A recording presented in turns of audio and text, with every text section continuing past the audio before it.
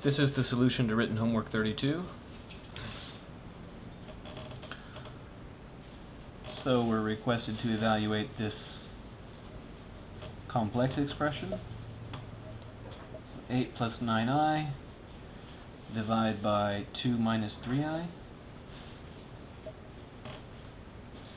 So we want to divide by this complex number.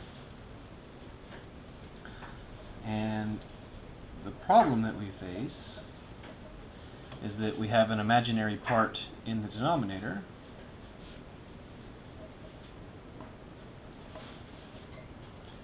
And the way to overcome that is to multiply that denominator by its conjugate, which will rotate that number back onto the real line. But if we put that red 2 plus 3i in the denominator, then we must also put 2 plus 3i in the numerator. and I FOIL this out. That would be 16 plus 24i plus 18i minus 27 i squared divided by 4 minus 9 i squared.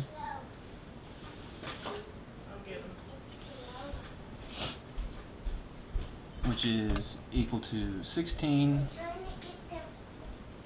plus 42i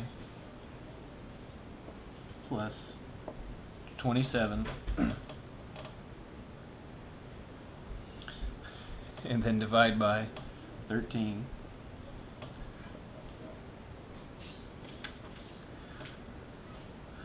which is equal to 43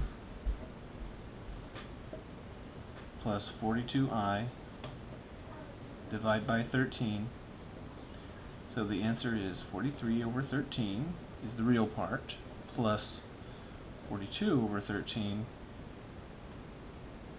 i. okay, for part B, suppose z is this complex value. Evaluate that expression. Okay, so that so z squared plus 3z plus 1 is 2 plus i squared plus 3 multiplied by 2 plus i plus 1 which is 4 plus 4i plus i squared plus 6 plus 3i plus 1 so combining together the like terms 4 plus 6 plus 1 is 11. And then 4i plus 3i is 7i, and then minus 1. that would be 10 plus 7i.